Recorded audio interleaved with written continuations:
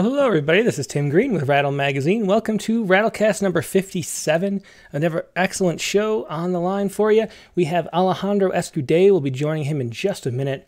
But before we begin, I should say that Rattle is a publication of the Rattle Foundation, a 501c3 nonprofit working to promote the practice of poetry. We've been in continuous publication since 1995 and are unaffiliated with any other organization. We just do it because we love poetry. And if you love poetry, please click the like button right now. Don't wait because you'll forget. I always forget, uh, but it really helps if you click the like button and uh, share. And make sure you're subscribed and uh, make sure you click the notification bell too if you're watching on YouTube. Wherever it is you're watching, there's some way to click and tell people you're watching, and that is always a good thing. Now, for our warm up poem today, um, I just clicked the random button, which actually works now. Um, if you haven't noticed, for the last almost, I think, nine months, we had an upgrade for our server at rattle.com. And um, the, the random button was caching. So you only got one random poem per hour. And I've tried so long to fix this. And um, the weird thing is, suddenly it works. So I think the way that I fixed it a couple weeks ago that I tried actually corrected it. And um, once the cache cleared, now it works again, or something like that. So the random button works. You can click on random poem after poem now, which is like we always intended. So I clicked on the random button and uh, came up with this poem by Kathleen Postma uh, Four Women in a Hot Tub. We lowered ourselves in. Let me start over. We lowered ourselves in, our suits stretched by fat that had collected all winter like set sediment. We smoked pot, and someone said something profound, but it wasn't me. I rolled like a detached fetus in the water and wondered about the electrical wires that ran beneath us like veins that don't age so much as blow out. One woman said, all she still wanted was fame, but we knew it was too late for her. Let's talk about something happy, she said. No calamities in China or women getting screwed or chemotherapy. She went first. She said her son had made a friend after being alone all school year. The next woman said her backyard had caught the first light after weeks of rain. Her children were illuminated as they dug in the mud. The next said she opened the, her door to find a kind of a kind letter from a man she left ten years ago. The last woman asked, when did happiness become merely a reprieve? Like a blizzard letting up after a night on Everest, or an iffy remission after chemotherapy.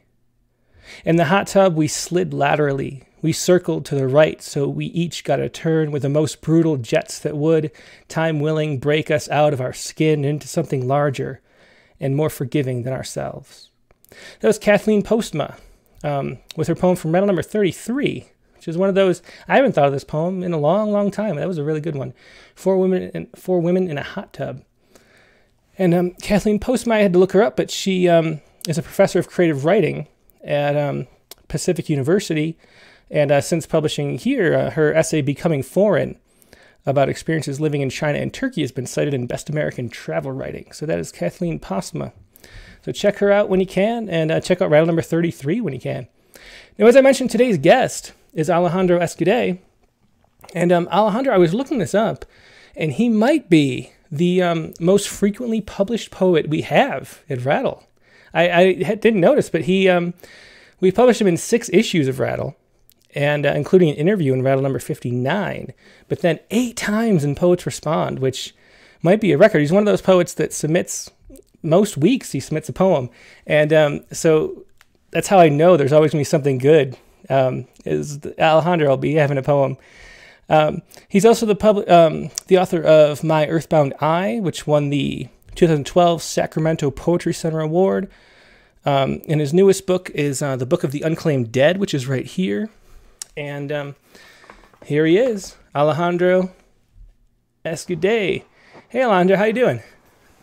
Pretty good. How are you, Tim? Thanks for inviting me. Yeah, it's always my pleasure. I mean, we've had you like we do everything with you, so um, it's good to see you again. You I saw you last at the was that the literary festival two years ago or last year? Uh, it was, I think, two years now. Yeah, yeah. yeah. Time just flies, man. And then there's yeah. no literary festival. It would be right now. I would be freaking out about um, getting that thing organized. Uh, but but now there's thanks to the pandemic, I guess it's a silver lining or something. I don't have to worry about it. Yeah, there's always silver linings to those things. so how you been doing now? One, one thing I didn't mention in your bio is that you're a teacher and you're doing um you're struggling through the um California at least has all distance learning. I think. Mm. Um, yeah. So Yeah, so pretty much. so how is that going for you as a teacher? Like, what's your perspective? A lot of people we've had a lot of poems like in Poets Respond about this from parents with their kids. Um, Mm. And um, we've read them here on Poets Respond Live, and from teachers too. So, so what's your perspective on um, the distance learning? Do you think it's productive, or or is it hard? How's it going? Yeah, I think it. I think there. I think it benefits uh, both students and teachers in different ways. It's like, you know, for students who needed a, a sort of, you know, social break. Interesting. I mean, high high school's horrible, man. It's- you know, like you're. It, it's still like, it's still high school, you know, and I think they get a break a little bit. Um, maybe I don't know. I think I think after a while it kind of wears out even the introverts. You know, like even the introverts are like, I wish I had a friend. You know. yeah, well, I bet. Um, yeah. but I think for for teachers, like I was telling you, I think you get to focus on that part of teaching, which is more planning, uh, and um, you know what high school teachers called scope and sequence, which is like you know what's what's your year going to look like. I think some teachers were able to do that and classroom management very well. I mean, those are like masters, you know. Mhm. But I always struggled with the classroom management part and the planning, um, and uh, you know, making sure my lessons were t- tip top and all of that. So now I get to do the part that always was on the back burner. Um, I, I felt like I was just kind of surviving. Yeah, one thing. So maybe some, yeah, Yeah, one thing we noticed um, is just there's a lot more one-on-one. It seems anyway, time with the teacher. They have these um, for our school anyway. They have like an hour set up for um, teaching every day, yeah, and then there's like these slots where students who are having trouble can get one-on-one instruction, and um, that seems really helpful. I don't know if that's the same thing for your class, but it seems like there's sort of a way. It's I don't. I just wonder if this whole, whole thing is going to completely change the way school is done. Like like you know a lot of the things the way school um, was structured was based on the um, with the General Education Board from Rockefeller like 120 years ago. And um, Yeah, to, to yeah. teach farmers basically how to work in factories was the point. And um, we still do so much out of habit. I wonder if now we'll end up with like a hybrid forever or something. You know, do you think that's going to change, or do you think everybody's going to go back to how they were doing it before?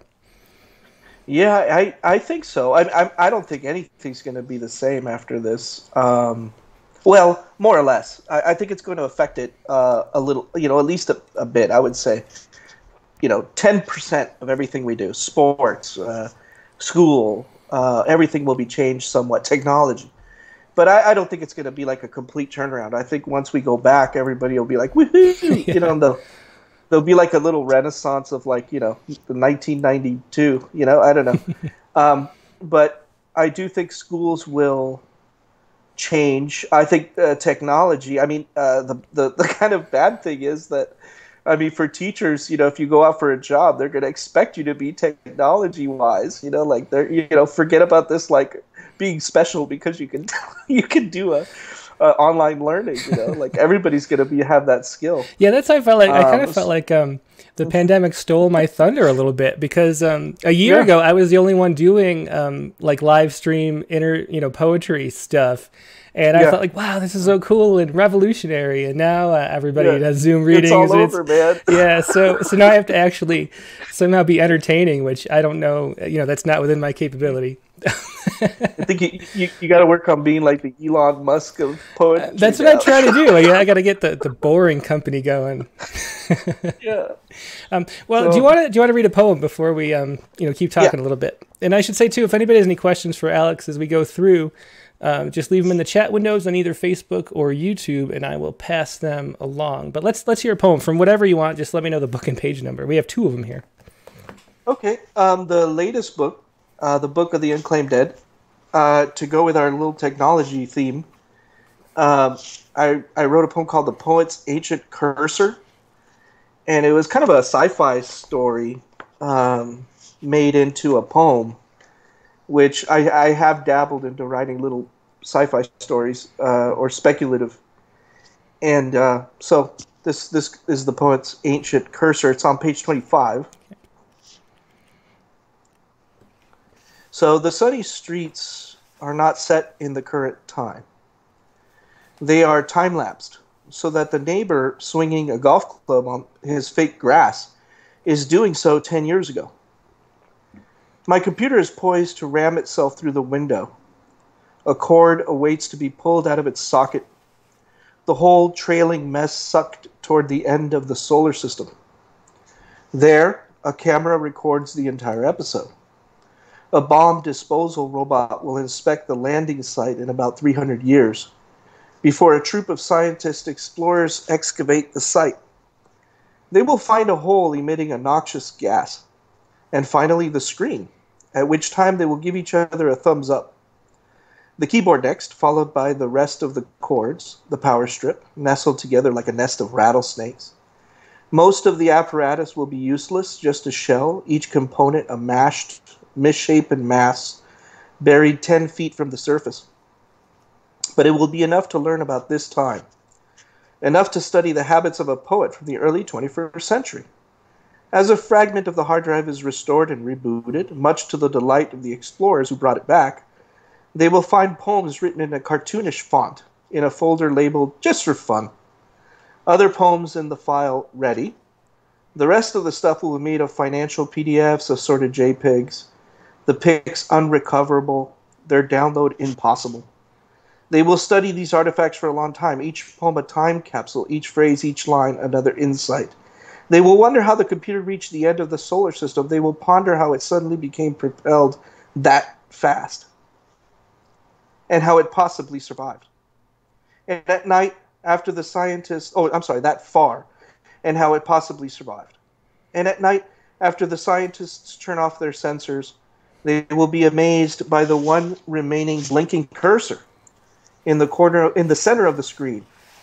At first, they thought it was a chip or fleck of radioactive radioactive material. Then they saw it blink, and it never stops. This is where we are today. Very interesting. That was uh, The Poet's Ancient Cursor uh, by Alejandro Escudé from the Book of the Unclaimed Dead.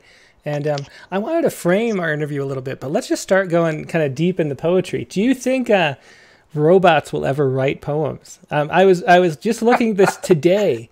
Um, everybody yeah. can check it out. Uh, did you see this article in the Guardian where they took the new AI um, speech writing program and they asked to write an article, um, you know, explaining how or, or, why we shouldn't fear our um, AI overlords because they come in peace or whatever. And so this whole article in the Guardian was written by a robot. you, wow. And, and yeah. it was like it was that uncanny valley thing where it was like yeah. it was like freaky, like knowing that the robot, you know, that the computer like didn't yeah. know what it was saying, but then still made sense anyway, was just so like it was it was i felt like i was in a dark yeah. mirror black mirror episode. Um, I, I think you just defined poetry. It didn't know what it was saying but it you but it wrote it anyway yeah. You know, like, oh that's a good point. Yeah maybe they're like the they're like the savants of poetry is the ai that's yeah. completely clueless. Hey, why not man? Yeah so, i don't know. I think i think it, it's it's like there's something about the the it would have to you know that kind of um, moment in like 2001 a space odyssey you know how when it like reaches consciousness you know it, and it's that moment where it can uh, accept the sort of randomness you know of its of its existence or and then and then it'll write good poems. Yeah, you know? yeah. But it has to get to that point, you know. Otherwise, it's going to be like an undergraduate, you know. Like yeah, it needs a you know it's existential crisis. Once AI has the existential yeah. crisis, then we'll have to yeah, um, or, yeah. yeah. or discovers that parallel parallelogram, you know, in, in you know in that planet or whatever, you know that it, it, gets there, you know. Yeah, yeah. Um, yeah, I've, have you seen those? There's that. The other thing. This thing is like 15 years old, maybe that bot or not and they've they've had a, a, computer writing poems for like 15 years or so. And there's a website you can go to. I think it's just called bot or botornot.com, and they'll have like an Emily Dickinson poem with no author on there. They'll have a robot poem, and you have to vote whether it's um who do you think did it. Um, Oh, that's awesome. Yeah. I, I, I would love that. That would that would like keep me entertained for a long time. Yeah, time. it's kind of tough to you know to tell this a robot and like John Ashbery because the robot like oh my god. you know jumps yeah, between yeah. all these images. Um, that's a lot One of of my you just named one of my, you know, my gods in uh, you know, influence. Big influence. so, okay, so now let's step back and just uh, do you want to tell everybody about um about how you came into poetry and and you you uh, were born in Argentina, then came out here, then um, uh, became a newspaper reporter for a while. I, I'm just remembering from the interview, and then um, Yeah. and then became a poet. So how did that all happen? Like, why are you sitting here at uh, 6 p.m. on on in LA doing a poetry podcast? How did that come to happen? Yeah, it's uh, you know, it started just kind of uh, the way people. I think most people, you know, I don't know, maybe not most, but in an English class, I we were reading T.S. Eliot, you know, the love song of J. Alfred Prufrock, um, and I fell in love with whatever that was. You know, uh, I recognized right away that it was very different than the other poetry we were made to read. You know, it wasn't John Donne. You know, it wasn't. Um, Shakespeare. Uh, this was T.S. Eliot was talking about something else, and something I, I even at that age I think I recognized, which was, you know, kind of uh, being isolated. Uh, that that poem is about isolation. You know, it, it it's got heavy that that that theme, and I think I recognized it, but I didn't know. You know, and then I think right after that I wrote my first poem. Um, about some girl I liked, I think. Obviously, you know, it's like the common thing to do. And then uh, in college, I wrote my first and published my first poem. In freshman year of college, it's at UC Santa Cruz. And it was a poem about the ocean. uh, yeah, I won't even like say the title. Uh, but yeah, it was, it was a, and then I published there. And I remember just liking being published because it came out in the newspaper and I found it, uh, you know, in a college uh, Santa Cruz has like three, uh, you know, seven or eight colleges. And I was just walking by, and there's a newspaper with me, and you know, I, I knew it was going to come out, but I didn't. For some reason, it still surprised me. And uh, I think I was hooked on poetry, then publishing at the same time, Mhm. and that that's why I got into the newspaper. And I loved writing feature stories, uh, so I liked to write, uh, and I got better. You know, uh, that year that I worked full time as a reporter. I didn't work a long time as a reporter, just about a year at a community newspaper, you know, getting paid nothing. Mhm. Uh, it was at Brentwood, actually, Brentwood uh, News. And so I reported on, you know, I got to see the, the Lewinsky thing way back when and, and all of that. Um, but I would mostly interview like bankers and city hall, uh, city council members and, you know, about pavement projects and things like that but I tried to make those poetic. You know, I would try to. I, I, I did. I did write a story breaking the, the the beginning of the Getty, the Getty Villa, and I remember really loving writing that, describing the the you know what it was going to look like, and so I made. I'm you know dating myself here, but um, Yeah. What, what did Yeah. your editors think of um, in, inserting poetry into? Um, did they did they enjoy it or not? Because I, I do a column um, for the Riverside uh, Press or what's it called the Press Enter- Enterprise in Riverside, and I'm always trying to push sort of like their boundaries and their buttons a little bit. Like it's a literary Yeah, column, but a, a lot of times they come back and they're like, "You cannot." Pub- we're not going to publish this. You got to like like I wrote one that was like um, for National Poetry Month, which I hate. Um, Yeah. I, I wrote some a column about how um, um, it's really important to eat your broccoli, and that's all it was. and at the end, it just said like like poetry's not broccoli, and they were like, um, "Yeah, we can't publish that. That doesn't make any sense." I love that. um, yeah. did did you do that? And did you did you piss your editors off? You know, I I remember writing stuff. This is gonna sound vain, and I don't care. I remember writing stuff that I was like, "This is this is good," you know. And it was, it, you know, it was a community newspaper, and I think I wanted an award, you know, like, and they were like, "Oh well, good article on the on the the, the bikes," you know. I, I, like, I would write about an article about uh, a group of people who biked, you know, who were French, you know, and they were like, you know, elite, you know, bikers but I would make it really cool and poetic and stuff, and they were just like, "Oh, cool, all right, nice, all right." I didn't know they were around, you know.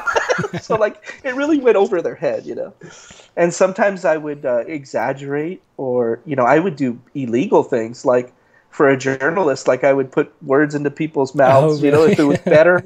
have you ever And- and- and- have you ever yeah. confessed this uh, before? Or is this the first time you're coming out as a? You know what? I, I think I did it without even noticing. Mhm. Like I think that my mind said, "Yeah, that's what they said." Well, that's what you know. Patricia Smith. Uh, we talked about this in her interview in uh, issue number twenty-seven. But she was a journalist, and she Yeah. that's how she had to leave journalism because she was um, sort of as a poet would do, like taking like four different people and mixing up into one really good commentary person instead of you know because it just makes a better story. I think. And Yeah, I um, don't think that was that bad. I, I wasn't that bad. Like I would I would change like one word like by accident. I once had this one, one old, older older woman. She's like, I didn't say I was giddy, you know. And I said, "Oh, but giddy's a good word," you know. and like, or or I would really exaggerate uh, description, Mhm. you know, like uh, like if I was describing an event or something, and I knew that it was you know way over the top, but uh, something like that. But I was never too.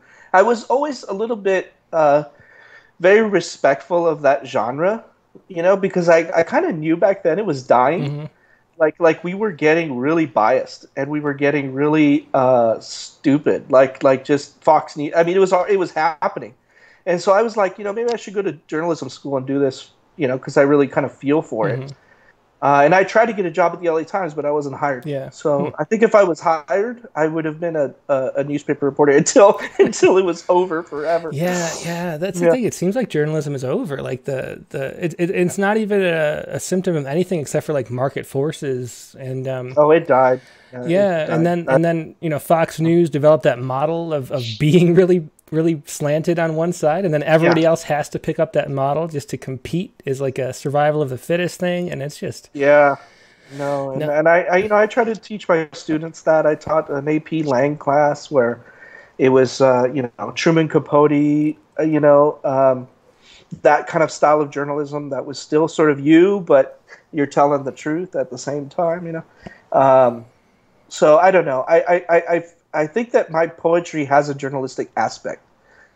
Uh, where I that's why Poets Respond works for me because I'm still into the news, you know, I'm still into like world events. Uh, but, but with Poets Respond, I could I could you know write about it however I want, you know, and still kind of stay true, but in my poetic way, you know. Mhm. So, but I think that that's where the draw comes in. Um, so so Caitlin uh, Bucksbaum here asks um, why I hate National Poetry Month. But let me ask, let me turn into a question. Do you like national? As a teacher, it sort of gives you an excuse, right, to focus on poetry for the month of April. Um, how do you feel about National Poetry Month? And then I'll I'll tell you, I'll explain why I don't like it. I don't know. It, you know, coming from this is going to sound bad, but coming from high school English, um, poetry doesn't seem. You know, when you talk about poetry the way we do, it doesn't seem like it's that part of that world.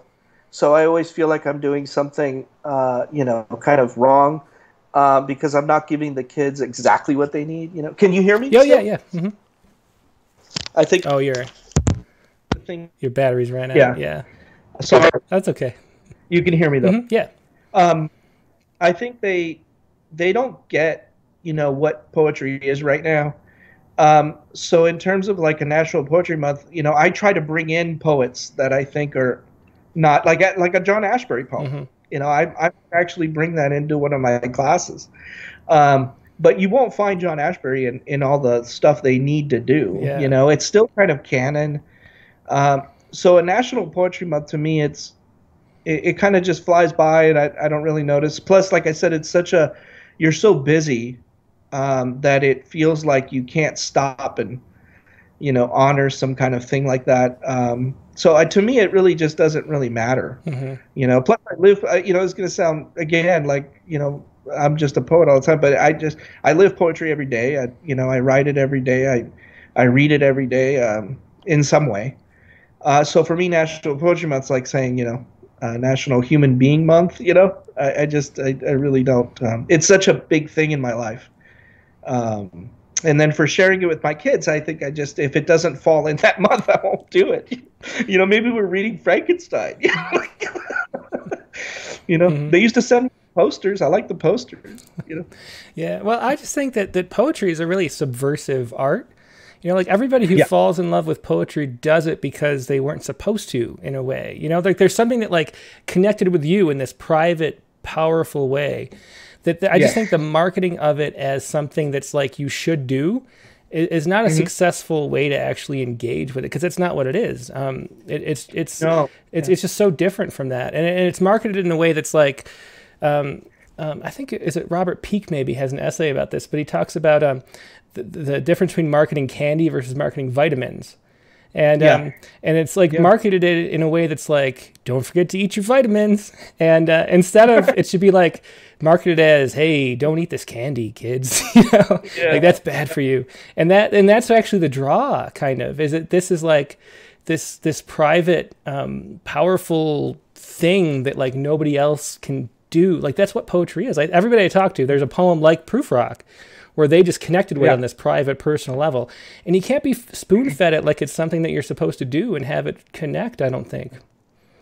Yeah, and I think when you try to explain that to people, because I tried to explain that to my colleagues one time, because they were trying to do this, um, uh, oh, what's that called? The poet, slam mm-hmm. poet, like slam poetry, and they were trying to do it as like it's going to be great for the kids. They get to express themselves, and and I said, well, as long as it's like good, and I and I had like some standards, you know, and you know, like for like they, it can't just be a rant, you know, and uh, I, I just hate that feeling of watching somebody rant and then everybody applauds. Mm-hmm. I just hate that feeling. It's so inauthentic to me. You know, I said they just yelled. You know, they just screamed and yelled and. Um, you know, because that same kid, unfortunately, you know, I, I, hate to be the negative Nancy here, but like that same kid is also not going to listen to when I talk about Emily Dickinson. Mm-hmm. You know, the kid ranted very well. You know, uh, he was just happy to rant. That's fine. I think there is a space for that. But I, ex- I tried to explain to my colleagues that look, I'm not going to be into it because I, you know, I can't help you there. You know, I, that's just not me. I, um, I think you know, not to not to put down slam poetry though, but the way they were going to do it in high school was something I thought was inauthentic. Mm-hmm. Uh, but yeah, I think it's it's it's something that um, it's just hard to explain, and you come off as an elitist, and and I'm like, no, no, you don't know what elite is not elitism. That's further. That's not. You know, I could explain to you what elitism is in poetry, and it's not that. So, um, I, I think it's very. It's just very hard to explain. You know, uh, but some kids, you know, I teach creative writing right now too, in high school, and I can already see some kids who have. Uh, not you know people would want to say talent and stuff. I think it's just a kind of um, a drive toward okay i get this. I'm playing with words you know? And they're sort of having fun with it you know? And when i say something like i like this line they're like yeah i kind of get why you do. You know? And, and those are the kids who are going to be sort of seduced you know into it mm-hmm. and then are going to maybe going into an mfa or something like that which which i think is good. Yeah yeah. Um, yeah i totally agree uh, do you want to keep reading? We've been talking a little too long. We should do more poems too. Uh, what do you want to read next? Yeah, uh, let me see. I have here maybe an example of one of my political poems. Uh, and also, you know, uh, I remember you published for me because I got into, I got into going to the gun range, and and I remember you got you, you were interested in that a little bit. Um, I, I'm not doing it now, obviously, because you, it's like a corona, you know, infested area. You know, mm-hmm. I tried to go to an outdoor one, and it was just uh, it was actually a really interesting experience, but it was too it was full of people. But anyway, this is called. It's on page fifty, and it's called "Dirty Democrats." But please don't misunderstand me. I, I'm not. I'm not crapping on Democrats. I'm a Democrat. So, all right. At first, the gun range employee says my son's too young. Though on the phone they said 10 years old was just right. But then he says, It's Christmas, so go ahead. We rent a 22 rifle, buy the little rounds. My son, meticulous as he is, listens intently as the young man shows him how to load the rifle, how to hold it in his 10 year old hands. My son never shows when he's enthralled, but I can tell he is because of his attention level. My son fires his first shots at a circled target. They're all near the center. He doesn't smile. He just hits the target, reloads, and hits it again. Then, speaking loudly into my earmuffs, he says, This is fun. I step back to observe him. I recall the man in line before us talking to me about the dirty Democrats, about how they should be in jail. He says to me, You know, teachers don't even teach anymore, they indoctrinate. You know, Marxism, Leninism. I fail to tell him I'm a teacher. I let him be the person he is. I'm here for my son. I'm here to show him how to shoot a gun. Next, my son shoots a revolver, a heavy 22. It looks too big in his hands, but this time he smiles and says, Wow, this one's louder. The revolver is silver. The gun guy told us it was very old. Once or twice, the chamber didn't release the casings. The bullets would expand because of heat. My son learned about this too. At the range, lessons come fast. My son wants to know if the glittering specks at the back of the range are bullets. I tell him, I think so. The image makes me think of the dragon's treasure hoard in Beowulf. I feel pride now, and I fold my arms and watch my son add his own glittering to the jet black backstop of the range. And that was Dirty Democrats from uh, Alejandro's newest book, The Book of Un- the Unclaimed Dead. Um, and that that is interesting. I think you're you're one of the few poets I've I've seen, I read so many poems, obviously, um, about talking about the that gun culture sort of feeling, the, the the sort of adrenaline. The other time I heard somebody talking about uh, this friend of mine who um, got an e-bike and he said yeah. um, when you buy an e-bike um, like they, they just give make you make you do a test drive basically and then when yeah. you pull out and you ride around and it's like no effort like you're a kid again they he, they pull back like with an ear to ear grin and um, everybody buys the e-bike and that's like the trick for selling e-bikes and um, yeah. And I, have I've heard um, that there's that feeling f- shooting like at the shooting range that you have this sort of like rush of um, I don't know if it's like endorphins or, or what it is but but this yeah. like happy feeling. Um, and, and very few poets have ever written about that I've seen, except for you. Um, do you want to talk a little bit about how, because you weren't like a gun person, how did that happen that you got into shooting? Well, um, I think it's it's you know um, I've always been interested in words. Words are abstract.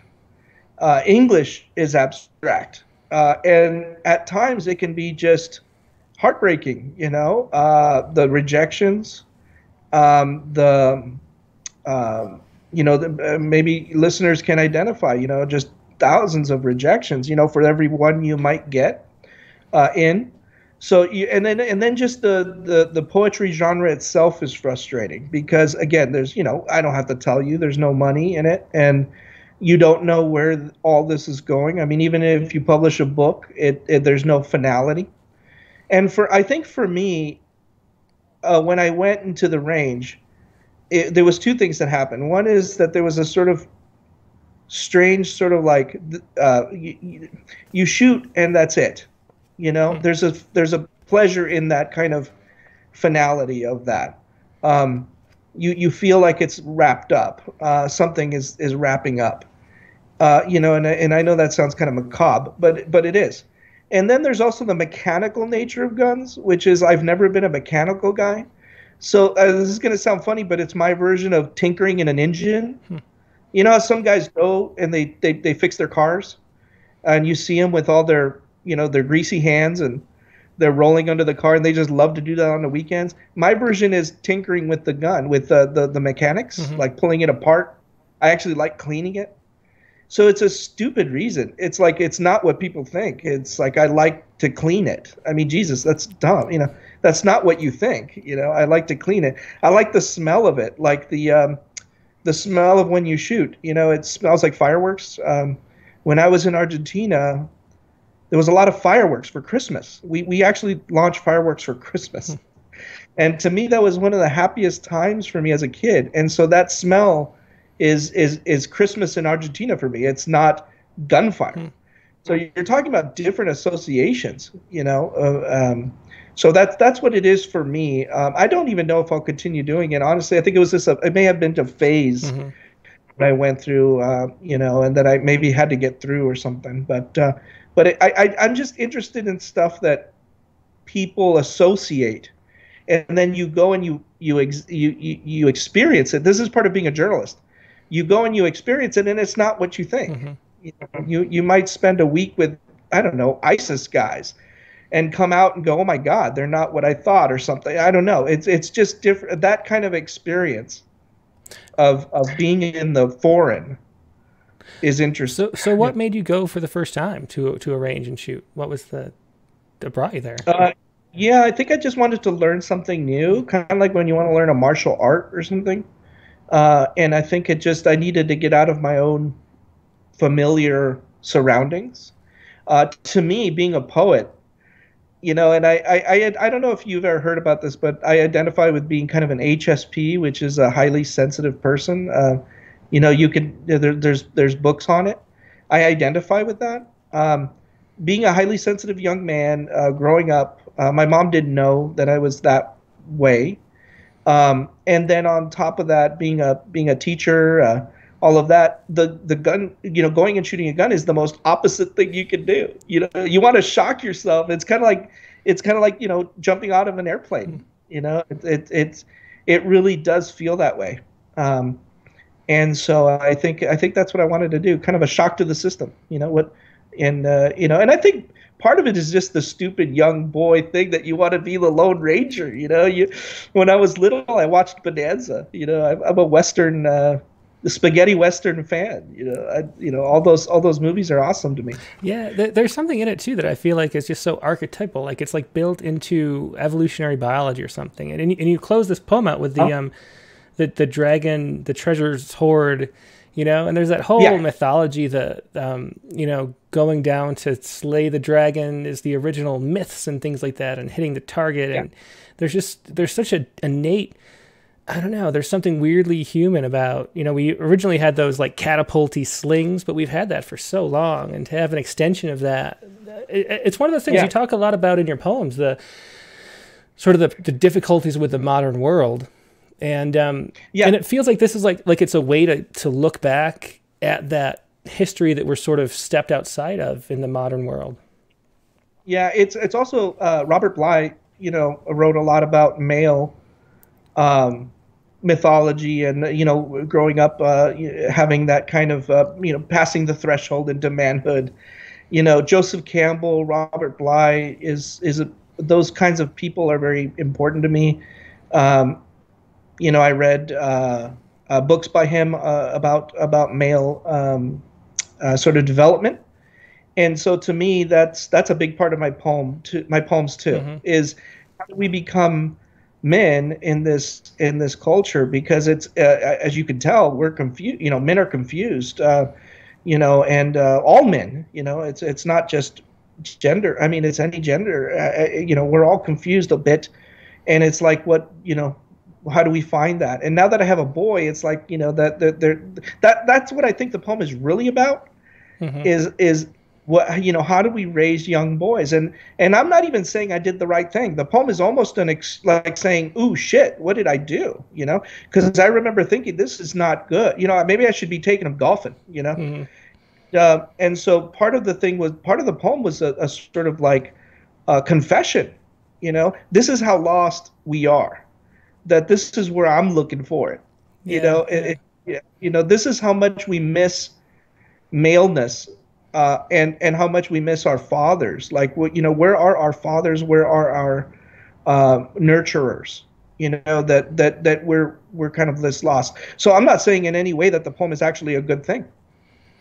Yeah, yeah. The other thing that's very similar, I think, is the jujitsu, sort of the rise of, of mixed martial arts, and um, yeah. you know, like my son, uh, we take him, yeah. or until until the pandemic, we took him to jujitsu, and um, yeah. and and there's really it's it's a it's a whole culture now all of a sudden that like um, you know like sort of nerdy middle-aged men are trying to go back and do jujitsu because they feel like they've missed out on something during their midlife crisis or whatever.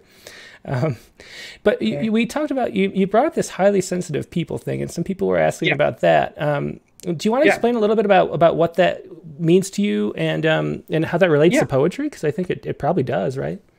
Oh, big time. Uh, you can Google, uh, people who are interested, you can Google, and I don't mind being her poster child. That's fine. Uh, Elaine Aron, you know, A R O N. She's uh, she's sort of the proponent. Um, there's a lot of therapists and and, and psychologists uh, who are who are sort of understanding this a little bit. Basically, it's not being sensitive, like you know, in the way we think of it.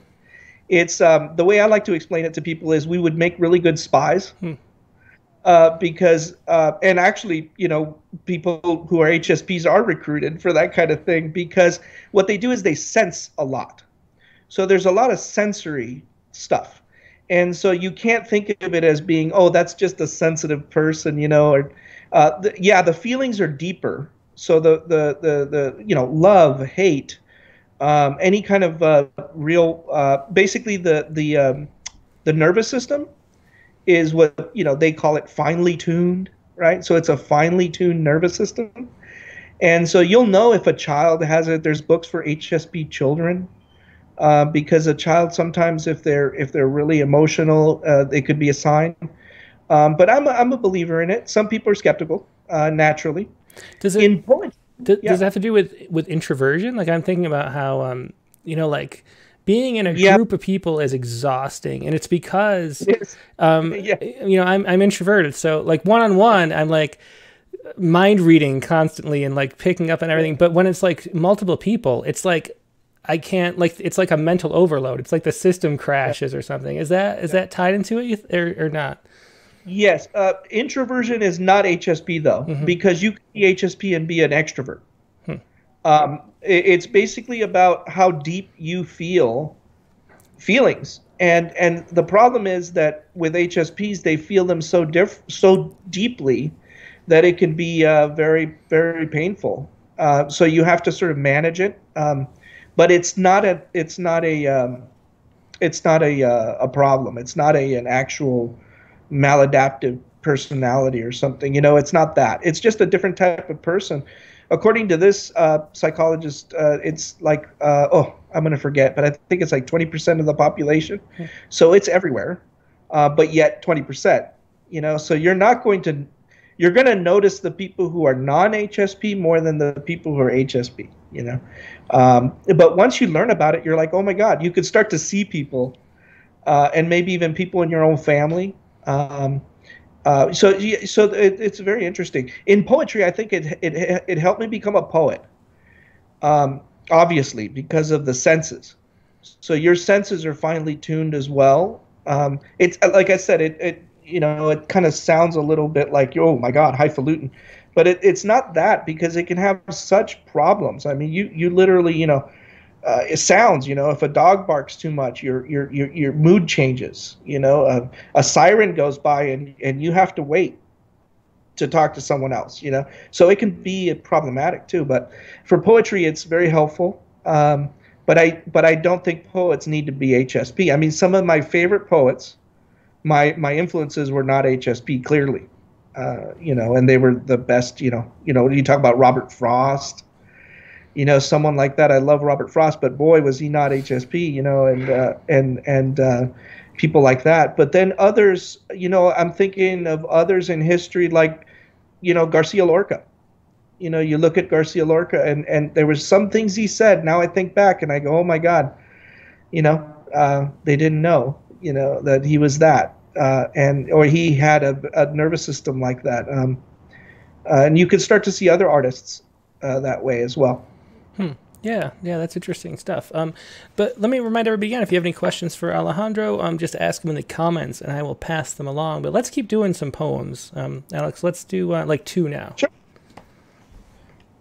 Uh, this is called Numbers, and it is about. Uh, um, I think you know, going through divorce. Uh, I have a, some divorce poems in here, uh, which is, again, kind of connected to. I mean, think about the senses and think about what that does, if you're going through something like that. Um, so it's it's an it's it's an intense experience. It's it's a sort of existential thing for I don't know, maybe for all poets. I mean, you, you know, Sharon Olds wrote a lot about that, relationships and things like that. But this is called Numbers, and it's on page 56. Uh, there's nothing to be mad at anymore. The cycle is broken, and now I'm pedaling a rusty bicycle with a severed chain. The Buccaneer ship has emptied its loot off of off of a crystalline cove, and I haven't lost hope as much as understood its particulars. Marriage doesn't make for good poetry, no matter how well it's written. And so I refuse to say what occurred. What occurred is what never occurs in the life of those who've made a life outside of wedlock and children. This is what I've wanted to ask the unmarried and childless. childless. How did you mature before the gate closed? How could you play the lottery then forget the ticket on the liquor store counter? But those folks don't play the lottery because they've figured out the odds, and the odds told them it's impossible, much like marriage, ever to pick a winner. That was Numbers from uh, the Book of the Dead. Let's hear another one too. Um, this last one is one I haven't uh, is coming out, but I really felt that I wanted to read it because it means a lot, uh, especially during this time of pandemic and and um, and sort of technology. We're all technology people. So this is called uh, Babel, like the Tower of Babel.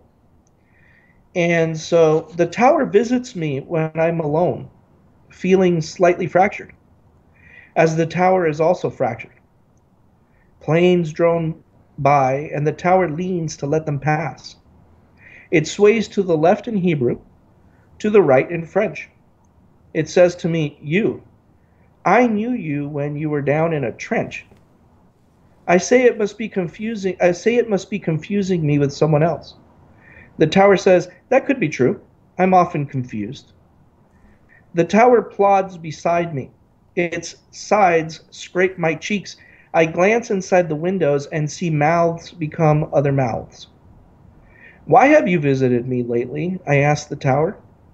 It replies, I watched over when you I watched over over you when you were a child, weeping in the desert. That was no desert, I corrected it. It was a playground. Don't you recall I could not yet speak English? The tower suddenly shrinks down to the size of an upright brick. You, I remember when she dismissed you for being afraid. I rub my eyes. You mean when my wife left me after two decades? But time means nothing to the tower. I watched as you meditated beside the river of wild horses. I say, You're always so confused. I was sitting near a bustling highway. The tower says, You were in the trenches. You navigated my passageways. You were death, and death was you. You carried all languages within you. You do so again. I arose so you'd walk up my ramps, interpret my scrolls and palimpsests, climb toward the sky riddled with stars.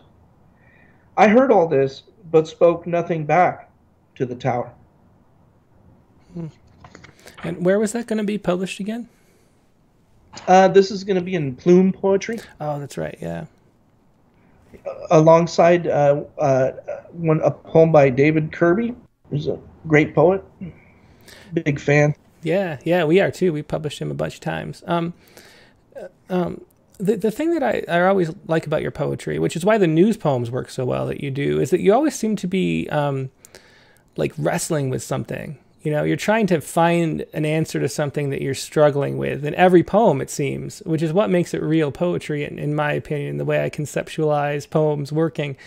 Um, was there a first time? Was there a first poem for you where you like learned something about yourself and then you know that that you didn't know? Like, was there a? For me, there was a poem that that clicked, and I was like, "Whoa! I didn't know I knew that." You know, like that's what that is.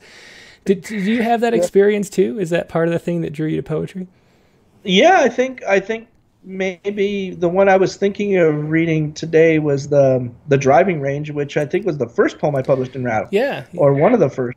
And um, that one, uh, you know, I was wondering what it all meant to be a dad, and I, you know, again, I, I think it was another one about taking my kids somewhere, you know, and um, and I remember finishing that poem and, and feeling like, yeah, now I get what's happening, you know, uh, with with being a dad and and why it's hard and you know why it's related to what my my own father, you know, how how that sort of you know three people triangle works you know the, the the the son the father and the and the, and grandfather you know mm-hmm. uh, you know how that how that relationship uh, begins to matter begins to talk to itself um, uh, and so that was that was something that that was like that yeah.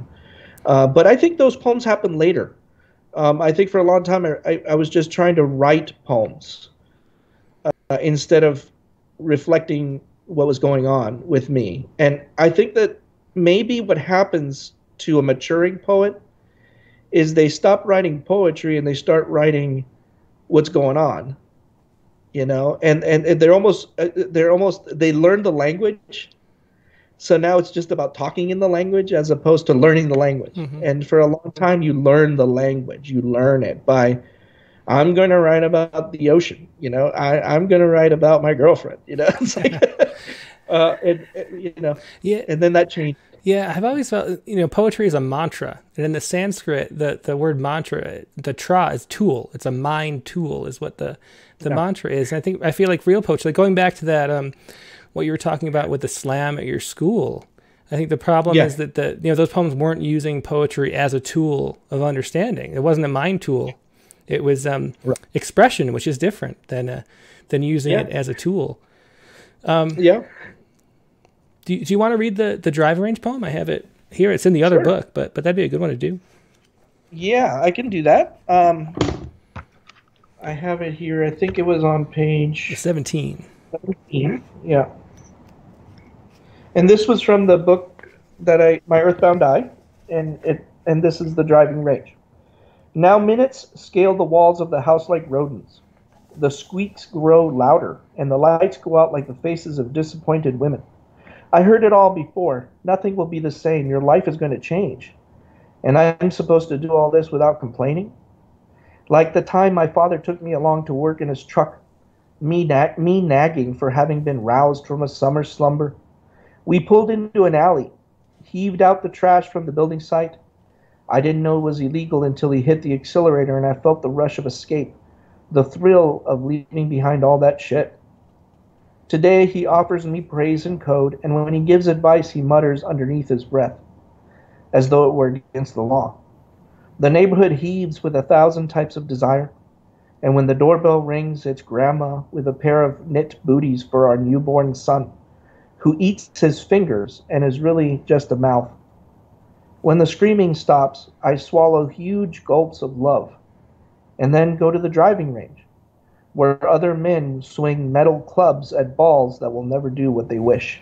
Yeah, that's a great ending to that poem. And I, I think this, I read this poem um, before uh, we had kids. I think you had kids a little bit before us and submitted this. And then that whole uh, that line about the um, who eats his fingers and is really just a mouth. Every time like you know holding the baby i would be thinking about yeah. that line from that poem of yours because it is so true. Yeah. Um, yeah they're cute man. Yeah yeah. Um, but yeah yeah that is such a great ending to that poem. And, and you can see where the spontaneous sort of understanding came from in those last few lines um, does yeah. your your father? I can't remember. Is your father still in Argentina, or did he move here too?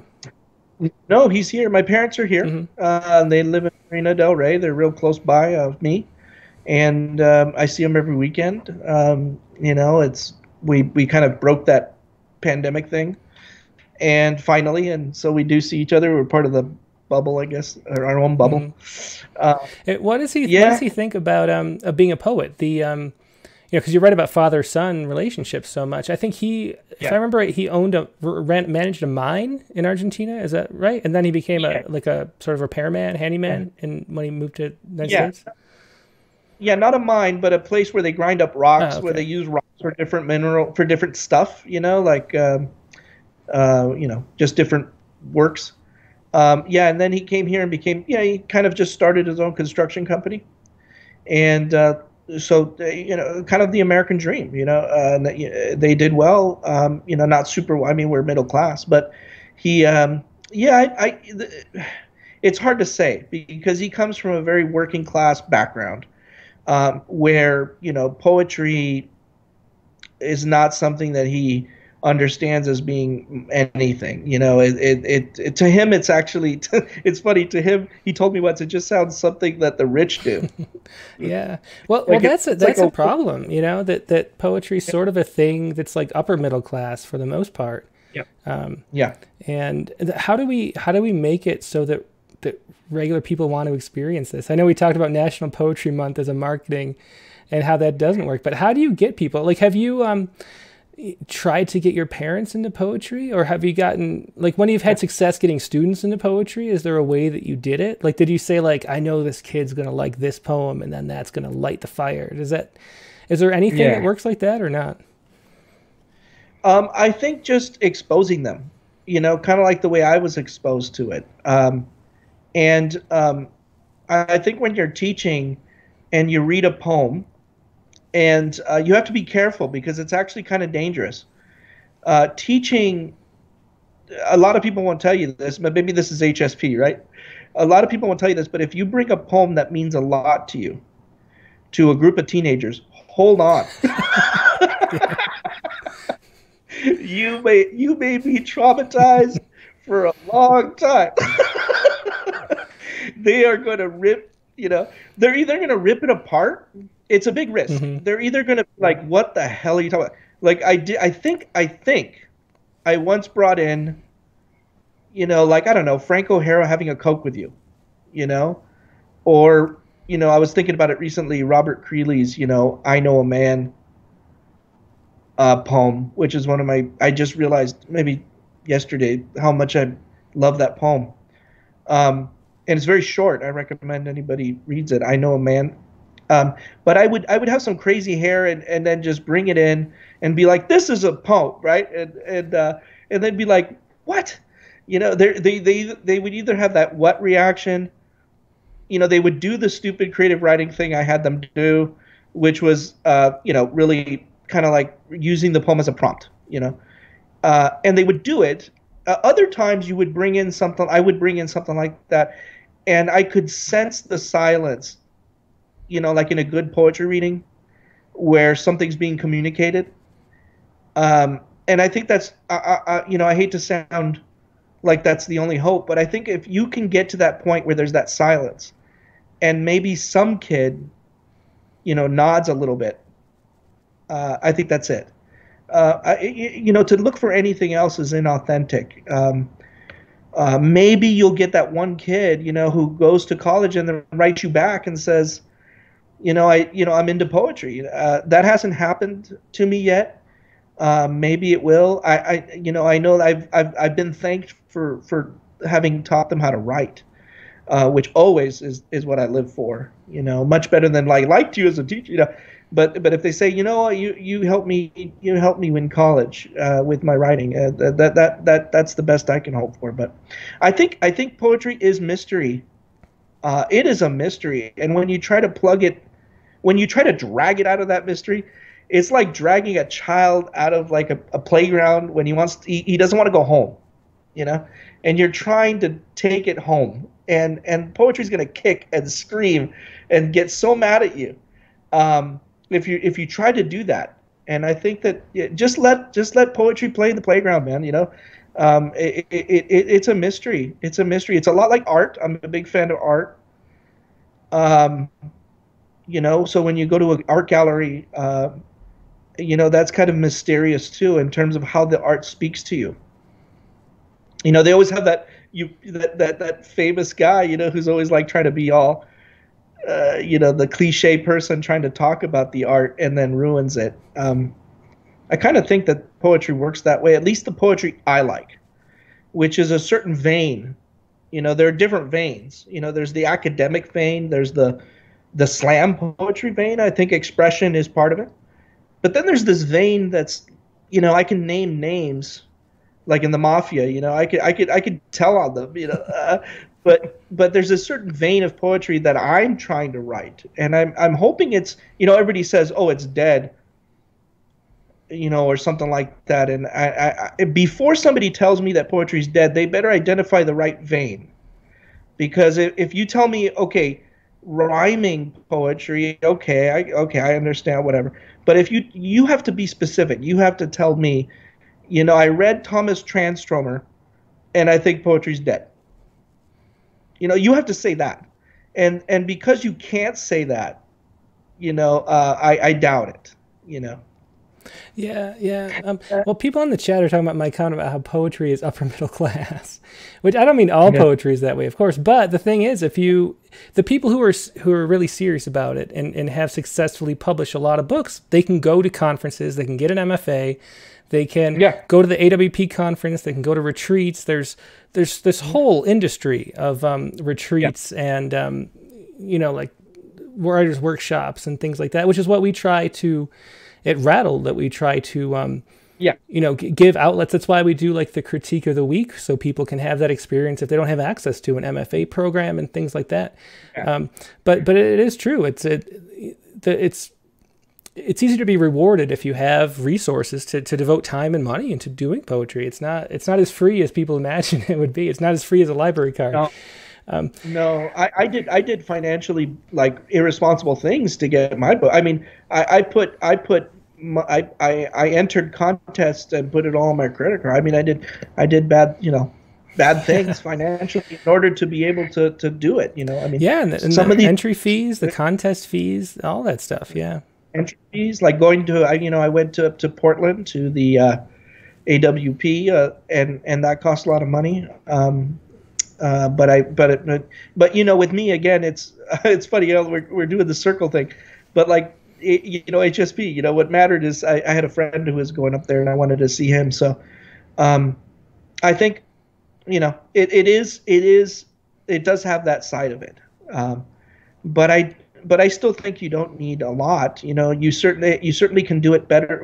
You know, better than being a painter. I think, for example, being a painter's harder. Yeah, yeah, for uh, sure. I mean, you know, breaking, canvases are expensive. yeah, no, and, and even just getting noticed. Mm-hmm. Yeah. But uh, you know, I there I don't think there's a rattle for modern painters. You know, uh, you you either you either make it or you don't. Uh, so I think that poetry's got a little little bit of that, a little bit of uh, positivity in that sense. Mm-hmm. Um, I wish sometimes I wish I was more a fiction writer so I could make some money. yeah. But that's about it. Um, there's a, a, an um, absurdity MHN asks an interesting question. I know you we haven't really got into like schools of poetry. You mentioned your vein of poetry, and I'm just yeah. going to read this and see if you can make sense of it. It's hard for me to think and, and talk at the same time. but um, why the American poetry is so expressive and expressionist? I think it should say why is American poetry so expressive, expressive and expressionist, and has lost yeah. its cubistic perspectives. The Whitman and beat kinds of poetics, I mean, through boring narrative techniques or techniques. What do you what do you think of that? Well, I mean, uh, did he say beat beats? Yeah, right. Beats. The beats were the beats were pretty narrative. You know, if you look, if you read Allen Ginsberg, I mean, it's pretty narrative. Uh, even when he gets, uh, you know, I love that poem where he mentions Moloch. You know, Moloch. Mm-hmm. You know the. Yeah, the lover I, of blood and oil. Yeah, yeah. Oh, I love. oh, yeah, and and uh, um, that's just that's very narrative. It, it's got magic, magical realism in it, which is I, I love magic. I mean, that's maybe that's the vein I'm describing is a kind of American magical realism. Um, but uh, but it's very narrative. Uh, uh, the beats.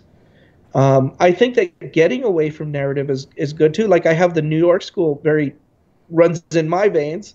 You know, uh, like I said, John Ashbery before, uh, Frank O'Hara uh, I think it's I I'm teaching my kids right now to actually do it, which is you know get off the subject, which is uh, Richard Hugo's famous you know dictum. So so how would you um, describe that that vein of poetry that you like? Like who are some of your favorite poets that are most informative, and like how just would you characterize what they do versus what other people do?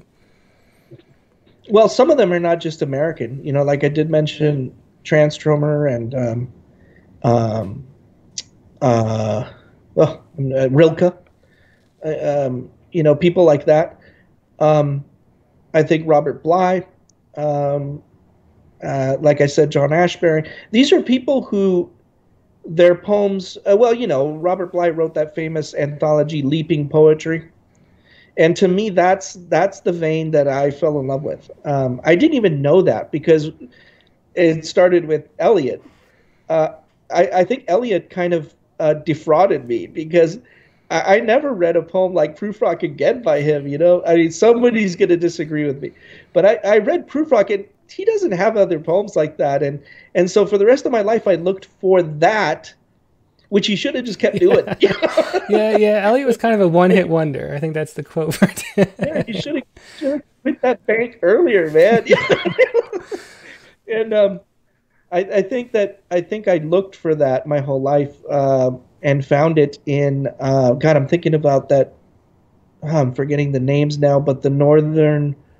Um, he's from Washington, I think. Um, uh, he he was known for writing lots of poems uh, every day. Um, but then I also got into poets. Uh, one of the ways I got into poets, I don't know if anybody's interested in using this method, but I, I tended to relate to poets that wrote like me.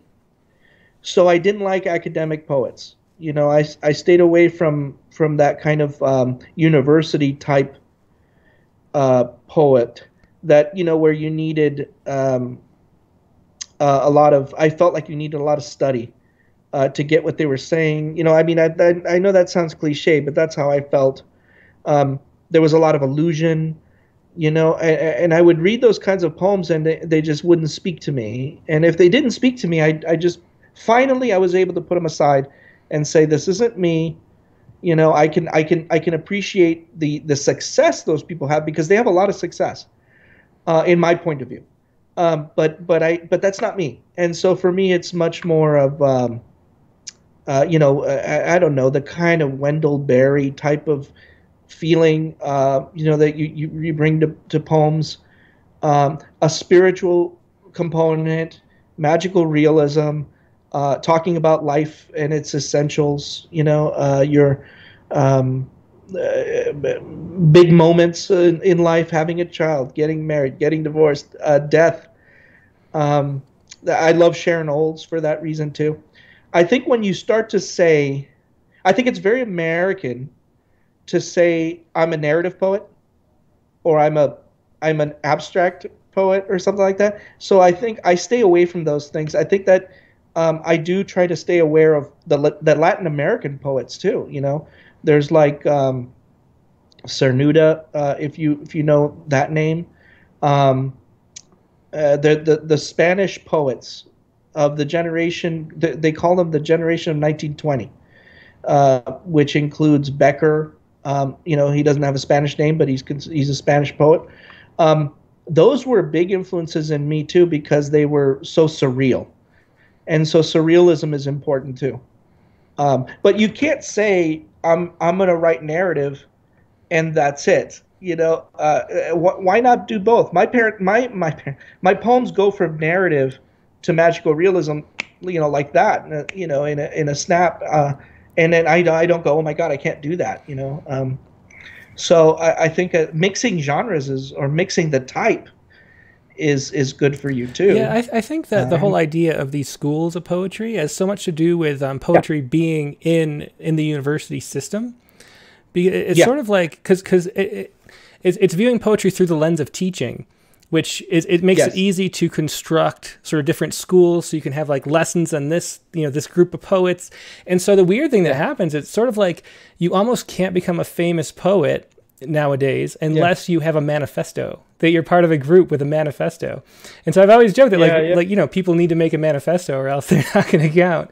And um and, and I, so I feel like I don't know something's a little bit lost in there, but it's also you know a way to to you know sort of libraryize the, the world too in your in your mind of who fits with who and stuff like that. Um, this is why, despite despite him being a curmudgeon and all that, I like Bukowski because Bukowski showed me that, you know, uh, you can do your own thing. Uh, and he was from L.A. Uh, yeah, he got lucky. I mean, I mean, it was just all luck. The story behind Bukowski, but at least it showed that. Well, that what is the story of, behind uh, Bukowski? I don't, I don't know how it's luck. Oh well, it's luck because he had a a publisher who one day just dropped by his house. You know, after reading some articles by him in a newspaper. Um, maybe that's why I relate to him because he was published in newspapers. Um, and he said, "Look, right, I love your poems." You know, and, and apparently he had published some poems in the LA Weekly too, um, uh, or or some other kind of, you know, kind of a throwaway. LA Weekly is not throwaway, but like some kind of Hollywood rag. And he said, um, "I want you to write a novel." And the, the story is, I don't believe, I don't know if I, you can believe Bukowski, but he said he wrote a novel in, in, in a month, and that was the post. Oh, really? See, I, I didn't know that and he said, if you could write me a novel, eh, you know, I'll give you a hundred bucks a month. Oh, not a hundred bucks a month. I'll give you the money you need to survive a, oh, a wow. month, uh, so you can stop working as a mailman. And and Bukowski, and they asked him, how did you write a novel in a month? And Bukowski's only response was fear. That's a good story. I'm not I'm not a huge uh, scholar of Bukowski. That's interesting. Um, yeah. So, do you want? To, we're kind of out of time. Do you want to close out with one last poem? Oh, sure. Uh, let's see. I'm sorry. Maybe.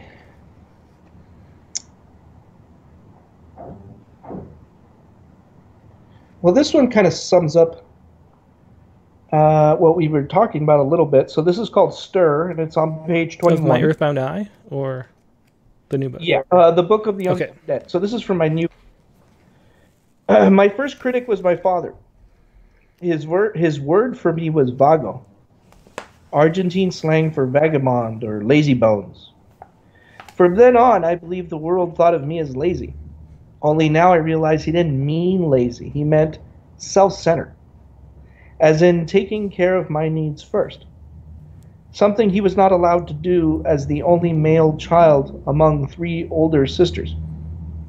No living father and a domineering mother. Of course, I speak of father when he was my age, not the goodly king he is today.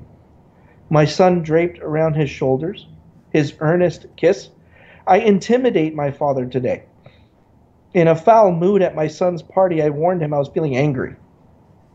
He put his hand on my shoulder and spoke to me gently and lovingly for the rest of the day. I think he knows I've been inside too many intimidating small rooms shaken too many intimidating hands, lusted after too many intimidating women. I turned 38 in August, and at this point, nothing intimidating is worth it.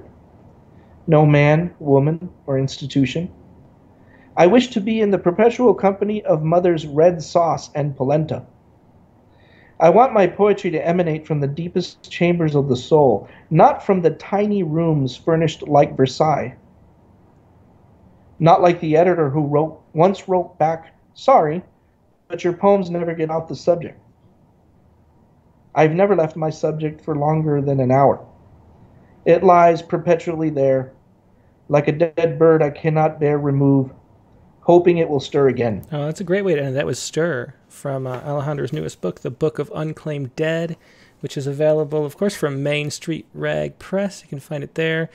Um, I don't see the website, but you can find it at Alejandro's website too, which would be um, uh, where would it be?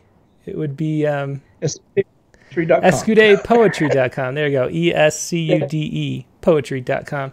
Thanks so much for joining us, Alejandro. Mm-hmm. It's always a pleasure talking to you. It's a lot of fun. Thanks so much for joining us on the Rattlecast. Thanks. Thank you. Yeah, good, good to, see you too. too. Bye. Take care.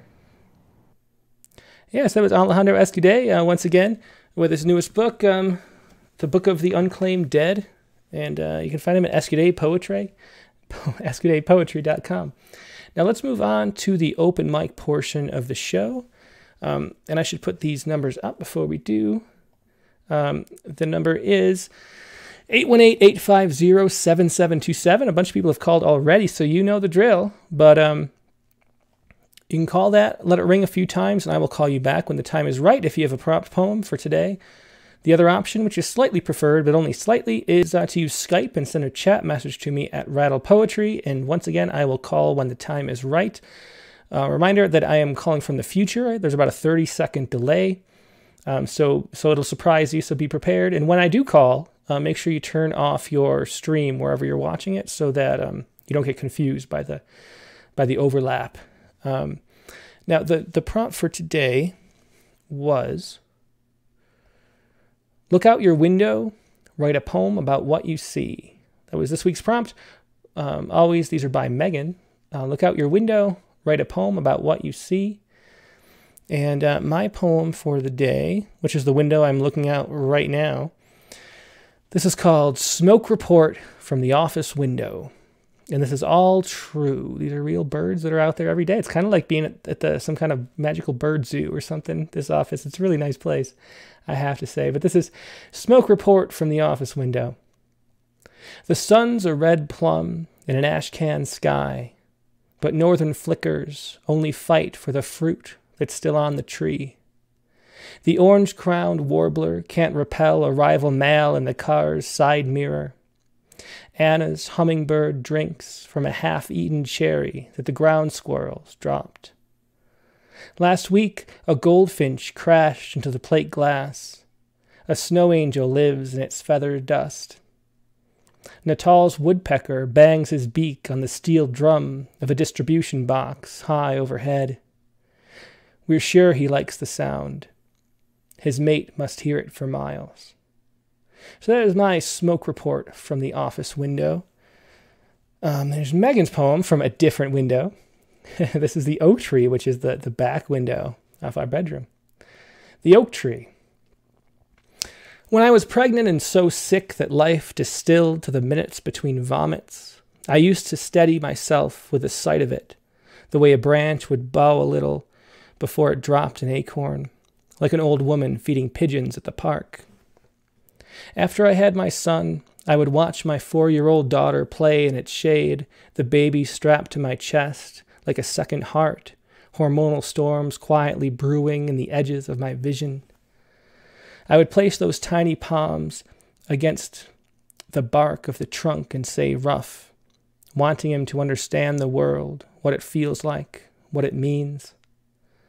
Now, quarantined, my children make it a playground, and I read beneath it, and we all float in and out of the moment, fluttering away like leaves, then sinking back into the earth, three tangled roots. In the windstorm weeks ago, the birdhouse, already here when we moved in years ago, crashed to the ground, and I did nothing, though I pass by it every day as it lies on its side in the dirt, and every time I think this used to be somebody's home, and hope maybe, somehow, it still is. Ah, that's an excellent poem. I hadn't read that yet. That was The Oak Tree by Megan Green. Um, and now let's turn to your poems. Um, let's see, who do we have first? And, and I should say, I think I forgot to say, um, when you call in, you can also email your poem so we can see it to um, rattle or open mic at rattle.com. So send your poem in an email to open mic at rattle.com. And um, there we go. I'm going to fix that. And, um, and then call in and we'll read it. So let's see who is up first. Um, First one to ask on was Angela Gardner. Let's call up Angela.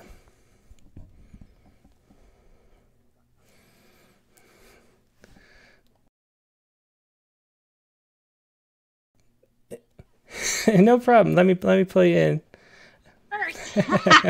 yeah, yeah, you got in first this time. Um, wow. So let me find your poem for a second. What was it? It was um, was it Oh, here it is. Spring Free. Spring Free, yep. And um, well, I don't have to ask anybody what it's about because it's all about what's outside your window.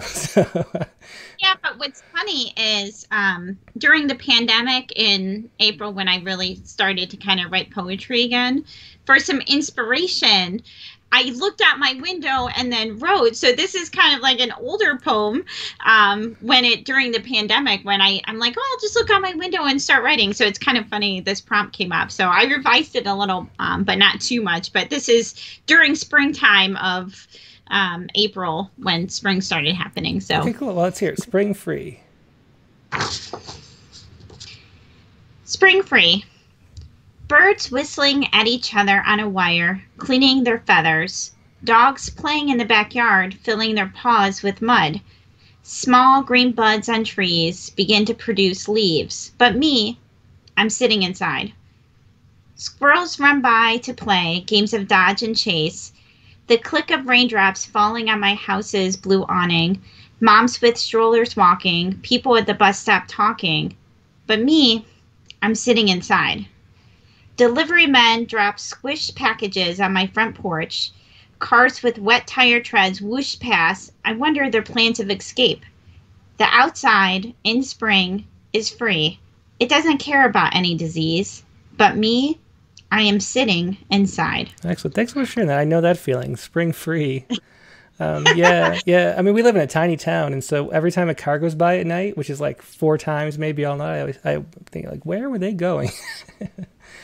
well, yeah, and I live on a busy road, and there is actually a bus stop right on our side lawn, right out the out outside. Mm-hmm. So it's kind of this window right here. You know, has like all these different things, and you know, we live in like a like a real suburban like city kind of neighborhood so there's a lot of things to see to look outside but it's uh but I, I, I did spring free eventually, but I'm still more inside than yeah, ever. So. Yeah.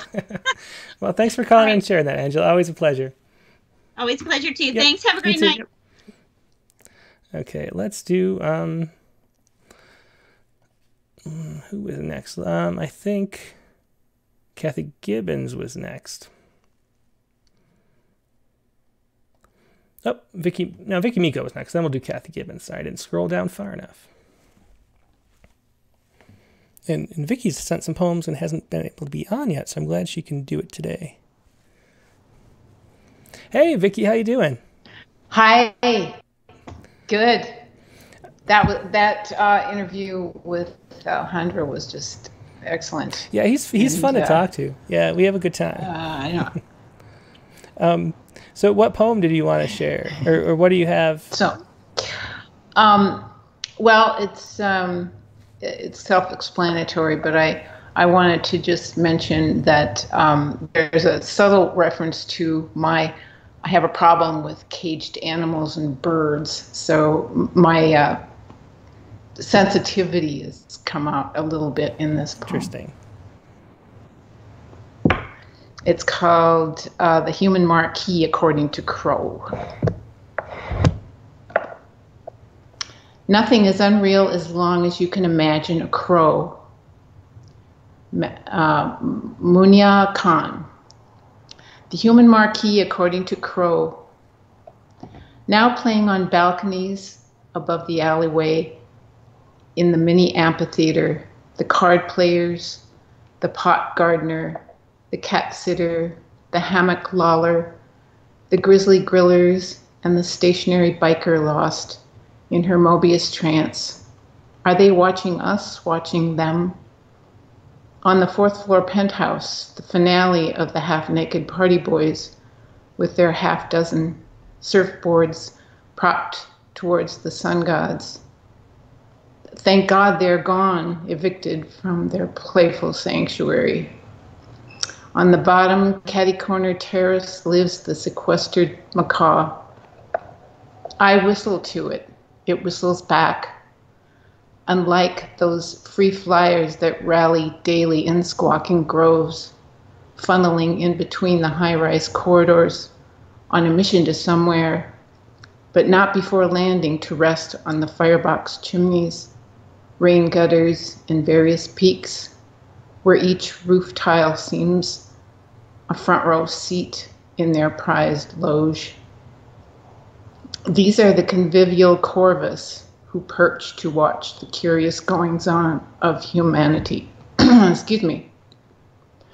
Do they mock us or applaud us, we who live in these captive balconies, partly hidden behind the floss silks, jacarandas, and massive fan palms that fan nothing but mulchy debris collecting on the sloping rooftops?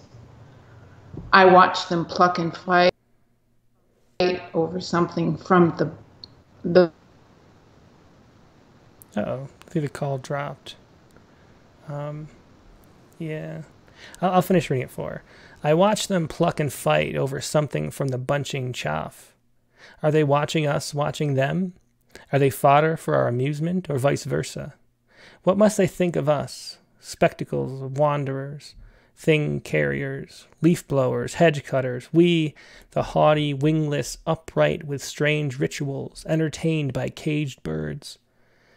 A preening crow, for a moment, headless. It's an excellent poem. I like that a lot. I love that little um, haiku at the end, too. Um, great descriptions of birds. That was Vicky Miko uh, reading her poem, The Human Marquee According to Crow. Very good. Thanks so much, Mickey. Sorry the call dropped. Um, but we got the rest of the poem in, so that's okay. Um, let's go to. Now let's do Kathy Gibbons.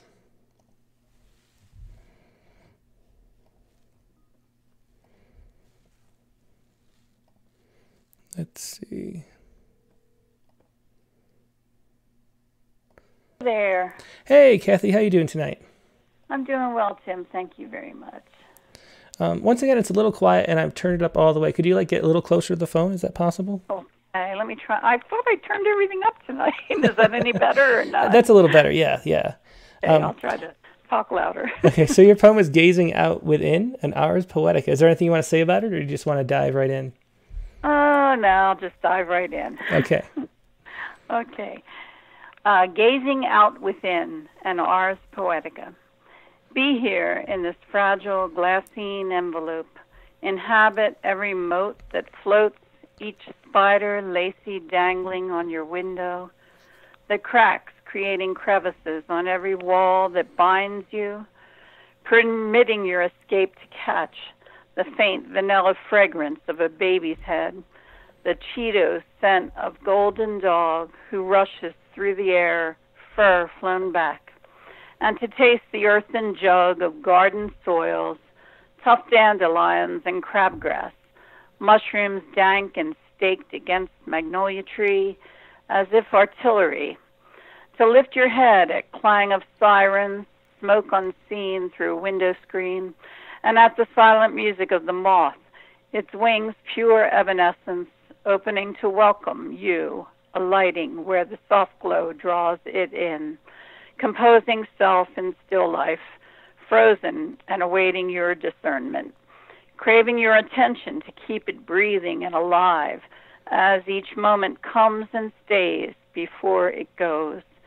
And so that it never does, be addicted to the words. You write it down and up again. You break the glass, release the flying thing. Excellent. Thanks so much for sharing that. And that was Gazing Out Within an Ars Poetica by Kathy Gibbons. I, I'm, I'm really enjoying this um, prompt. It, it kind of, um, you know, voyeuristically looking out of everybody's windows is pretty fun. Um, It is. It is. And Yeah. thank you for Alejandro. He was one. I loved. I have to mention that one of my favorite things he said was about how he loved um, introducing his son to guns because of the cleaning of the guns and the smell of the gun when it's fired. I just that just blew me away. So, yeah, yeah. anyway, he's got a whole series of poems. It's really something poets don't write about much. So it's definitely worth checking out his book for that. It's like a like a chapbook book within the book almost. Um, yeah, but thanks for calling in, Kathy. It's always a pleasure okay, to talk thanks, to you. Okay. Good night. Bye. Okay, let's see. Next up, we will have Cameron Gray. I'll find Cameron's poem while it's ringing. Um, I know I saw it. Oh, there it is.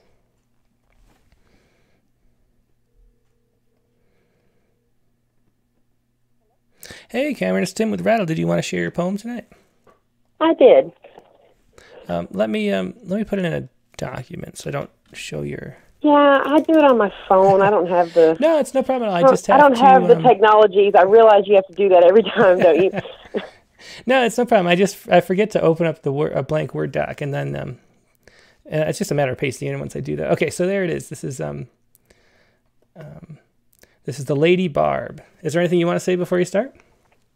uh, no, this one's pretty much self-explanatory. Okay. It's looking out my kitchen window. It's the only thing I can see is my neighbor's house. Well, go ahead. The Lady Barb. Her grass is never allowed to grow, and her hair is never long. Everything a place, a unique space. The flowers know where they belong. Her accent is German, and I must confess, I grab every chance to hear her speak.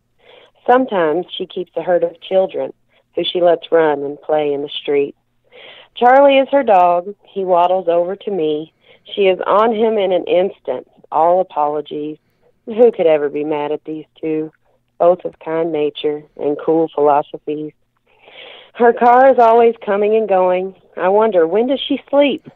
The Lady Barb, so sharp and neat, the only name I know on my street.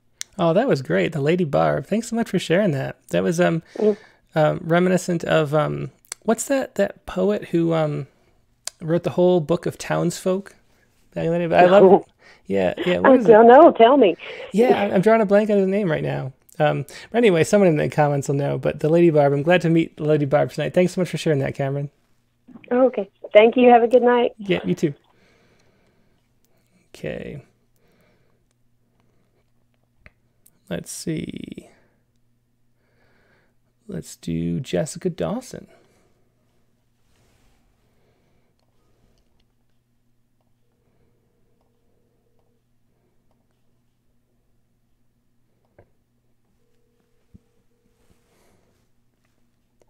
Hey Jessica, how you doing tonight? I'm doing great. How are you? I'm good. And with yours, we have a, a picture and a poem. The actual picture out the window. With my, uh, my one of my cats' heads blocking it. Yeah, well, I'll show this on the screen for everybody too, so everybody can can see Jessica's cat. There you go. Um, so, um, so is there anything you want to say about your poem before you read it? um, I will say that I wrote it and I was feeling pretty good about it. Um, and then I read it to my boyfriend and he was like, um, "That was good." And I was like, "Oh, um, do you have anything more to say?" And he's like, "Well, it's kind of depressing." and I was like, "Yeah, that was a total accident." So you know.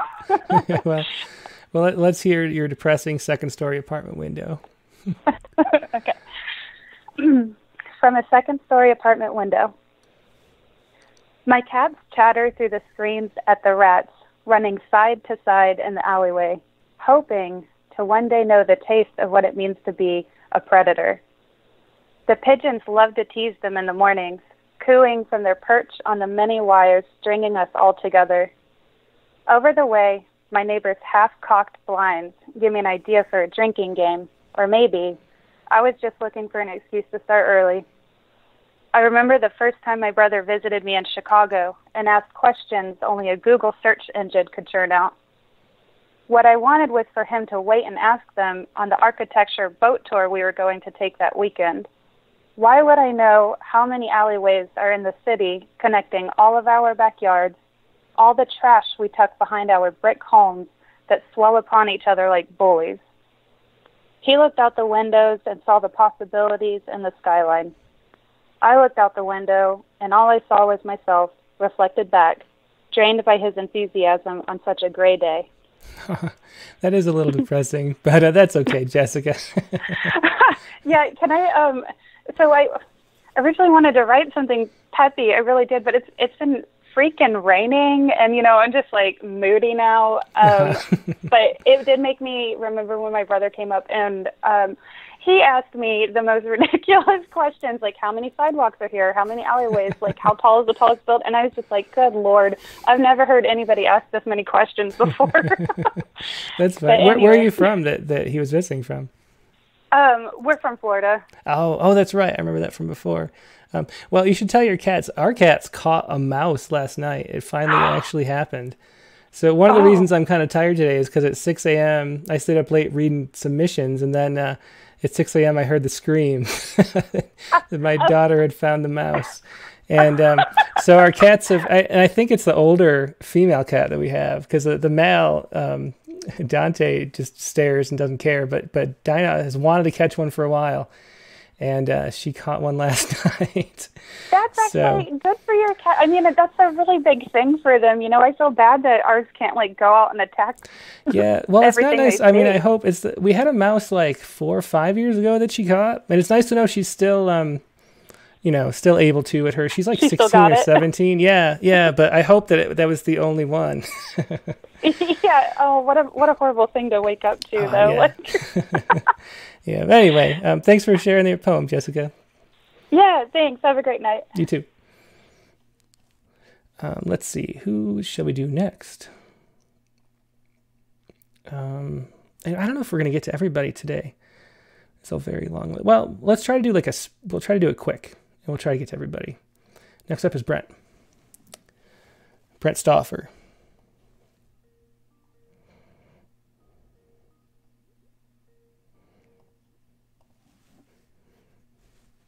Hey, Brent, how you doing? Hey, good. Um, let me finagle.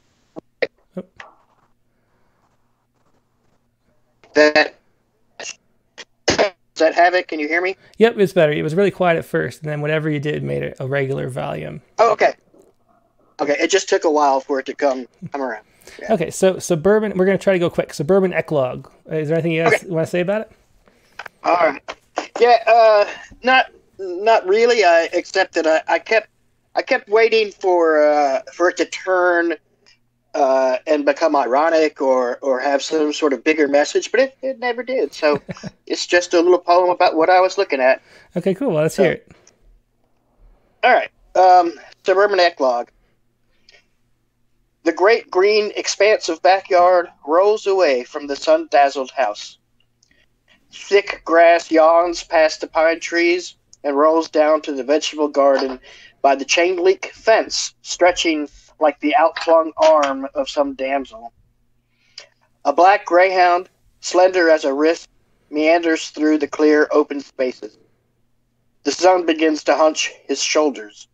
Shadows flow uphill toward the window. Behind the glass, in air cool as watermelon, from the elbow of the disheveled writing desk, I survey the summer scene.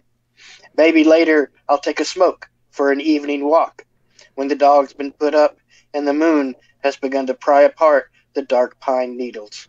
Excellent. Thanks so much for that. Great descriptions in that poem. That was Brent Stauffer with Ur- Suburban Eclogue, which is a word I never heard. Eclogue. Interesting. Yeah, it's it's that it's it's an ancient form, like I think it's Roman. Interesting. huh? or or or Greek, and usually it's about a shepherd, and it's all very pastoral and idyllic. And um, gosh, there was one dude who was like famous for it, and and uh, I think he was Roman, maybe. Yeah, Yeah, interesting. it's it's it's it's a form or a genre. Yeah, that's interesting. I'll have to check it out. But yeah, thanks for sharing that and, and teach me something. I right. appreciate it. Awesome. Good. Thanks, Tim. Okay. Um, let's see. So how many do we have left? We have uh, Michelle, Joy, uh, Brenda, Danny, Gail. Okay, so we have like five more people. Let's just try to do get them all. Let's get everybody. Um, this is Joy Stahl. I'll find Joy's poem.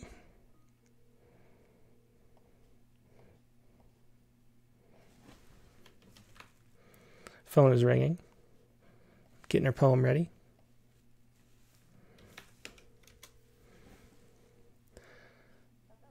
Hey, Joy. Thanks for uh, for sharing a poem. Um, is there anything you want to say about it before you dive in? Uh, just that I cheated because instead of writing about my neighbor's house across the street from my house, I wrote the fence I see out my classroom window. Well, that that counts. I think definitely. I mean, you, if you you live in your classroom a lot of the time, so go ahead, go read it whenever you're ready. All right. The fence I see out my classroom window. Weather warped wood, pale planed planks, sticks side by side. In autumn, unadorned. In winter, snow capped. In spring, bud draped. In summer, unobserved. I love that ending. Nice little poem. Thanks for sharing that, Joy. That was Joy Stahl with the fence I see out my class window. Thanks, Joy. Thank you. Bye. Okay, let's see. The next was Michelle Parks.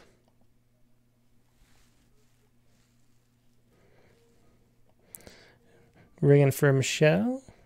Hello. Hey, Michelle, how you doing tonight? I am awesome sauce. Um, and is there anything you want to say before you read your poem? Yeah, you talked to other prompt was about looking through the window, and it made me think of glass. And there's this game I've been playing since I was in my 20s. Mhm. Um, and it's really great with people under the influence because you have to find like the specific criteria of the commonalities. Um, but just thinking of it made me laugh. So it's called Secret. Okay, well, let's hear it. It's, it's ready. Okay, there's a wall here and a door. No ceiling but a roof. No carpet but a floor. Wood but no fire. And a pool but no water. There's a puppy but no animals. Rabbits in the grass. There's no vegetation, yet trees are tall or small. never big or large or dancing in the wind. There is no wind, but hurricanes, monsoons, and drizzling. No rain. I don't thirst or starve. I am always fulfilled. There is no empty, no pain, no desperation. There is sadness and happiness, never peace, not even wishes. I am not here. I am pressed to be glass, green without breaking. Oh, another great poem. Great ending, too. Thanks for so much for sharing that, Michelle. That was Secret by uh, Michelle Parks. Okay, thank you. Hey, thanks. Good night. Bye. Okay, um, let's see. Try to get through. We have Brenda, Danny, and Gail left. Let's call it Brenda.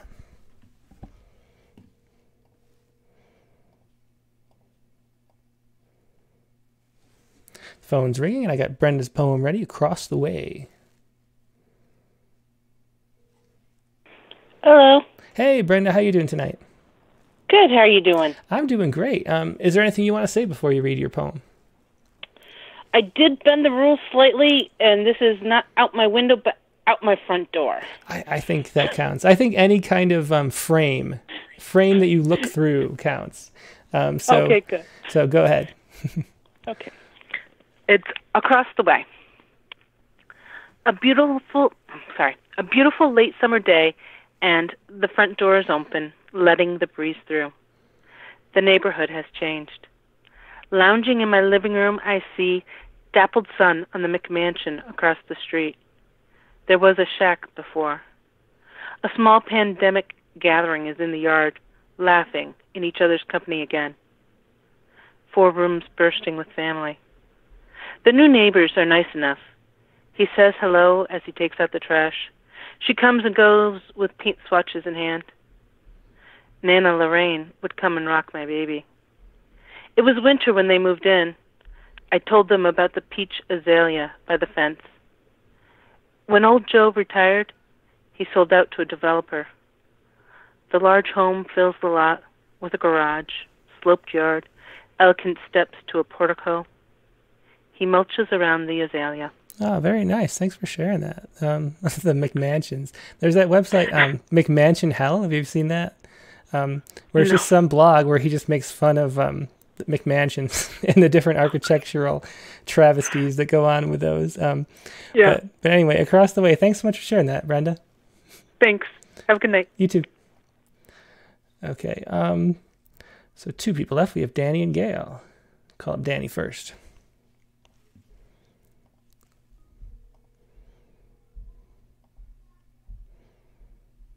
He's got first day of fall. That was quick. Hey, Danny, how you doing tonight? I'm doing good, man. You're going fast tonight. yeah, I'm trying to, to get through everybody. Um, at some point, I'm I gonna have to like like filter and, and not be able to get to everybody. But as long as I can, I got a two hour time limit, and uh, as long as we can get it all in, I want to. So, um, so what do you have? be that that popular, huh? yeah, yeah, it's nice. Um, so, so you have first day of fall. Is there anything you want to say about that? Um, it's like the others. It's a compression of a couple of days, and it's outside my door, and it's it's a true story. So Great. Well, let's hear it. As all, Shirtless. as all yeah. my poems are. awesome. Well, let's hear it. true to true true true to me. Shirtless, my next door neighbor's broad backside looks like a vacant billboard reflecting an attentive sun. In a distant phone voice, he says he's not trying to kill his mother. After his words, a murder of crows caw open acrimony in perfect time. Winter is coming! Winter is coming! Shocked by what I heard, I draw in one more stiff whiff of probability from the disquieted mountain air. As he walks towards me, let me please stay curiously lost between the crow filled oak trees that shade the whitewashed walls topped with a pure blue sky and a loose wire that hangs into uncut grass. Excellent. Thanks so much for sharing that, Dan. That was first day of fall. I love the way that it uh, it turns from humor to dark, like in two seconds. I know. Yeah. It's a true story, Tim. yeah. Well, um, I hope your neighbor doesn't hear that. but uh, okay. Well, have a so, good night, too. Danny, and stay stay safe. Yeah, buddy, you betcha. Okay. Good night. Okay. Um, let's do the last. Let me let me flip through to make sure I only have one person left. Angela. Joy. Yeah, I think we got to everybody, and now let's get to Gail. Gail Hemmon.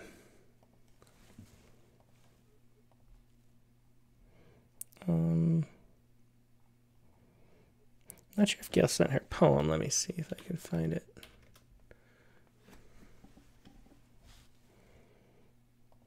Hmm, the phone's not ringing either.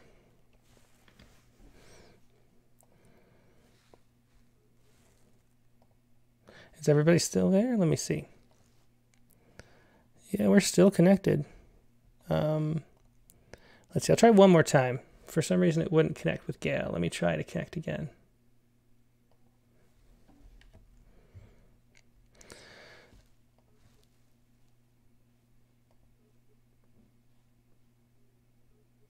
Yeah, it's just not working. I'm sorry, Gail. And I and I'd share your poem, but I don't see it here. Yeah, it didn't work. Nope. Sorry, we're just not connecting. Sorry, Gail. Um, hopefully we get you. Oh, oh, there's a different. I see. She's trying by phone too. Let's do it that way. Okay, the phone's ringing, so we're just going to do it over the phone. Hi there. Good evening. Hey, Gail, how you doing tonight? Oh, I'm pretty well, thanks. How are you, Tim? I'm great. Did you email your poem to me? I can't seem to find it. I, I did, and I'm a little. Uh, I'm sorry. I'm a little new, and I didn't uh, know that we sh- could or should do that. So I apologize, everybody, and, and Tim. Oh, that's no problem. Um, well, do you want to just read it? Oh wait, I see it. This was um. Oh wait, no, that's not it. Okay. Do you want to just read it, and we'll just listen then? Sure, sure. I don't want to make you do a, a search, especially toward this late hour. Um, gosh, well, it's been been great hearing everybody's poems tonight. Um, and a lot of times I look out the window, and I was uh, kind of practicing, you know, the try, try, looking in a little bit more in poems. So um, this is a window into it. Okay. um, at her house up by the interstate, out the window, she sees a microcosm, it seems. My life staring back at me, still empty, as this, a road worn Jeep rolls by with an American flag and Trump flag, all that they maybe have to feel powerful. Like the date she had yes, yesterday and last night were not quite treated right. The engine, fine but flag, years of a man's hurt lifted to brag, and a doleful refrain. Look at what they have and they have. And after trying to lighten him up, thought she'd probably not want to see him again. And though she's without complaint, she's not a saint and was eager to get back home to her book and back into her own lane. But as she looked out the window that hushed afternoon and knew that moonlight would be coming soon and sat down on the couch big enough for two, she wondered if he was safe in his lane and if opportunity would cross her window frame. And turned on the lamp on the inside of her window pane. The inside turned on the lamp, light, lighting the inside of her window pane, a book lighting up inside of the frame. And went to close the window, but quickly, a spark from the day, two strangers at play, but for the day, and though happy to go their separate ways, she left it halfway open. Um, and before before she turned, noticed in front of the window an open road again. Excellent. Thanks so much for that. It was Gail Hemmon with that. What was the poem called again? Uh, a window into it. A window into it. So thanks so much for sharing that, Gail. Really wonderful. Uh, so thanks, Tim, for the opportunity, and thank you, everybody. Yeah, my pleasure. Have a good night. Thank you. Okay, so let's see. That, that's everybody. We got to everybody tonight. Good job. And thanks everybody for being quick too. Um, now let's go to the um, prompt for next week, uh, and it is right here. Oops, that's not it. That's it. Next week's prompt September is Classical Music Month. Listen to a piece of classical music and let it inspire your poem. Once again, September is Classical Music Month, which I did not know. And uh, listen to a piece of classical music and let it inspire your poem. That's your assignment for next week. Uh, good luck with that. And uh, next week's guest on the Rattlecast will be uh, Greg Lascelle. Um, Greg's a, a, formal type poet. Um, we published him several times in Rattle. His most recent book is The Very Rich Hours, um, which you can see on the screen there. And um, we will see him Tuesday, September 15th at 9 p.m. Eastern with Rattlecast number 58. Hope to see you then, and I hope you have a good night. Good night.